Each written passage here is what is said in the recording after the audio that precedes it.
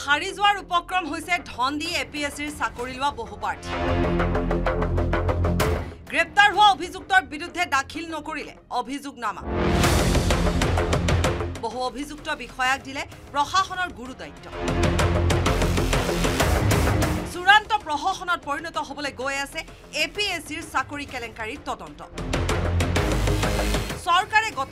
তদন্তকাৰী দলৰ চূড়ান্ত অৱহেলাৰ বাবে চাকৰি ঘূৰাই পোৱাৰ হে উপক্ৰম হৈছে অভিযুক্ত বিষয়াসকল।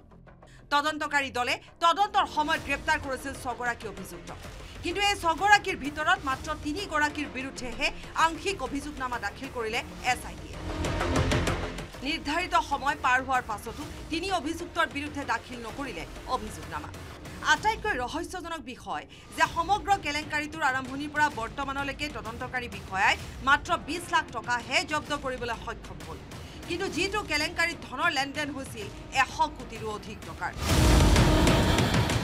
এ পি এছ অফিচাৰৰ এগেইনষ্টে অলৰেডি চাৰ্জশ্বিট ফাইল কৰিছে আৰু কিছু সংখ্যকৰ এগেইনষ্টে এতিয়ালৈকে চাৰ্জশ্বিট গভমেণ্টে ফাইল কৰা নাই। মহামান্য গুৱাহাটী উচ্চ ন্যায়ালয়ৰ ৰিটায়াৰ্ড জাজ জাষ্টিছ বি কে শৰ্মা কমিশ্যনৰ যিটো one man inquiry committee report তেওঁলোকৰ এগেইনষ্টে আপোনাৰ এটা যথেষ্ট এনমেলি আৰু বিসংগতি মানে এই ৰিপৰ্টত ইনকুৱাৰী ৰিপৰ্টত আহিছে। সুপ্ৰিম কোৰ্টে ক্লিয়াৰিফাই কৰি দিছে যে তেওঁলোকক আপোনাৰ চাকৰিৰ পৰা ষ্ট্ৰেইট এৱে বৰখাস্ত কৰিব পাৰে। এই যে ইনকুৱাৰী বা ডিচিপ্লিনাৰী প্ৰচিডিং বা আদাৰ যিখিনি ইনকুৱাৰী এই অফিচাৰসকলৰ এগেইনষ্টে চলি আছে গতিকে মই ভাবো তেনেকুৱা ধৰণৰ ইনকুৱাৰী কৰাৰ কোনো প্ৰয়োজনেই নাছিলে। আপোনাৰ তেওঁলোকক ষ্ট্ৰেইট এৱে চাকৰিৰ পৰা বৰখাস্ত কৰিব পৰা গলাই গলে হয়।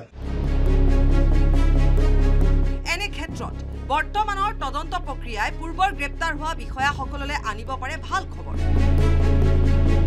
যদি বৰ্তমানৰ অভিযুক্ত বিষয়াসকলৰ বিৰুদ্ধে আদালতত উপযুক্ত তথ্য প্ৰমাণ দিব নোৱাৰে তেন্তে পূৰ্বৰ প্ৰায় সত্তৰগৰাকী বিষয়াই পুনৰ চাকৰি ঘূৰাই পোৱাৰ সম্ভাৱনা প্ৰকট হৈ পৰিব।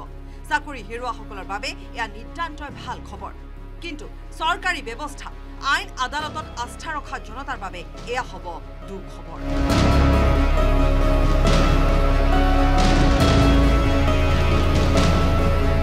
বিৰিঞ্চি কুমাৰ ডেকাৰ report news eighteen Assam north east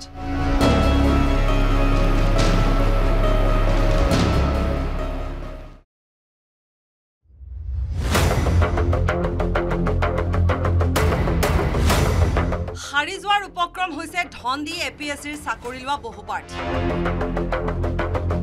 গ্ৰেপ্তাৰ হোৱা অভিযুক্তৰ বিৰুদ্ধে দাখিল নকৰিলে অভিযোগনামা বহু অভিযুক্ত বিষয়াক দিলে প্ৰশাসনৰ গুৰু দায়িত্ব। চূড়ান্ত প্ৰশাসনত পৰিণত হ'বলৈ গৈ আছে এ পি এছ চিৰ চাকৰি কেলেংকাৰীৰ তদন্ত।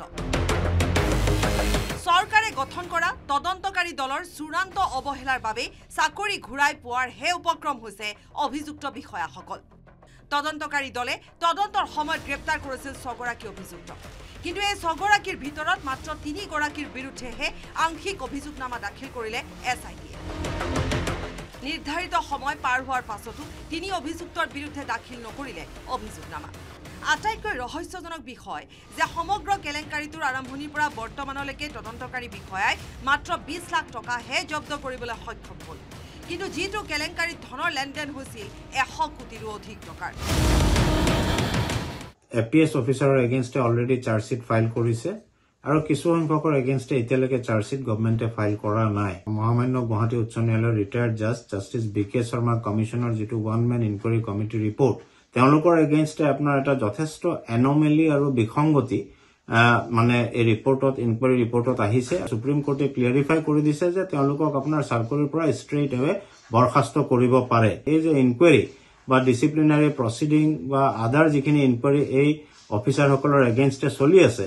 গতিকে মই ভাবো তেনেকুৱা ধৰণৰ ইনকুৱাৰী কৰাৰ কোনো প্ৰয়োজনেই নাছিলে। আপোনাৰ তেওঁলোকক ষ্ট্ৰেইট এৱে চাকৰিৰ পৰা বৰখাস্ত কৰিব পৰা গলাই গলে হয়। এনে ক্ষেত্ৰত বৰ্তমানৰ তদন্ত প্ৰক্ৰিয়াই পূৰ্বৰ গ্ৰেপ্তাৰ হোৱা বিষয়াসকললৈ আনিব পাৰে ভাল খবৰ। বৰ্তমানৰ অভিযুক্ত বিষয়াসকলৰ বিৰুদ্ধে আদালতত উপযুক্ত তথ্য প্ৰমাণ দিব নোৱাৰে তেন্তে পূৰ্বৰ প্ৰায় সত্তৰগৰাকী বিষয়াই পুনৰ চাকৰি ঘূৰাই পোৱাৰ সম্ভাৱনা প্ৰকট হৈ পৰিব। চাকৰি হেৰুওৱাসকলৰ বাবে এয়া নিতান্তই ভাল খবৰ। কিন্তু চৰকাৰী ব্যৱস্থা আইন আদালতত আস্থা ৰখা জনতাৰ বাবে এয়া হ'ব দুখবৰ